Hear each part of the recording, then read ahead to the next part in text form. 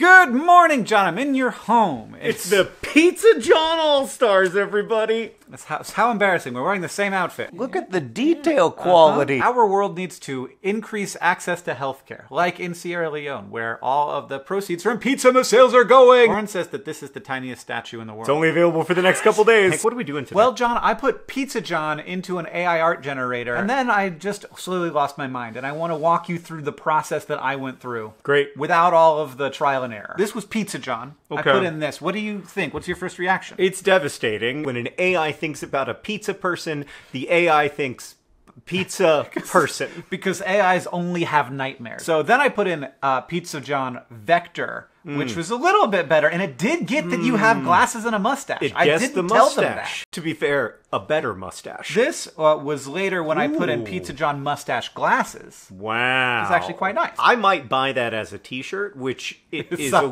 problem. is a little concerning to me. It's just stealing from what people have created. Right. It's just getting very good at it.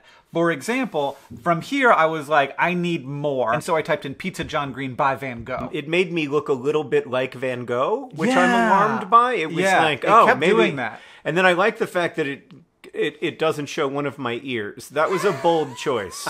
John Green, the author, made entirely of pizza. It's like a pizza quilt. It's like it's like they made a quilt that has I my. like this one a lot. The AI really wants me to be handsome. I, I, for one, appreciate it. John Green wearing a pizza as a hat, a Renaissance painting. The pizza looks vaguely quilted. It's like the AI has never actually eaten a pizza and doesn't know what makes a pizza right. a pizza. John Green, pizza art, Andy Warhol. I, I don't think it looks like Andy Warhol, but I do think it's actually pretty cool. I thought that this one did too good of a job of actually capturing the you-ness of you. It looks so too I- much like me. I needed to depart, and so I did John Oh. Green Pizza Boy Drippy Cheese with glasses, which I liked a lot, but it doesn't look like you at all. I tried to rein it back in and just did Pizza John again. Oh, no. And then I lost Oh, my mind. Oh, God. This one is John Green's face inside a pizza, hyper-realistic, creepy vibe. So I was leaning into it. can't believe they gave me spirals for eyes. I've always felt like I have spirals for eyes. How do they know that? All of those ingredients on the pizza are like little animals and eyes. So then I said John Green as a pizza monster, just absolutely mm-hmm. terrible, worst thing ever, but still John Green. And I think it got it spot on. it's a little bit Salvador Dali, yeah. but with more Shrek. So then I did John Green made of pizza wearing a crown color pencil illustration. I like that they made the crown out of pizza.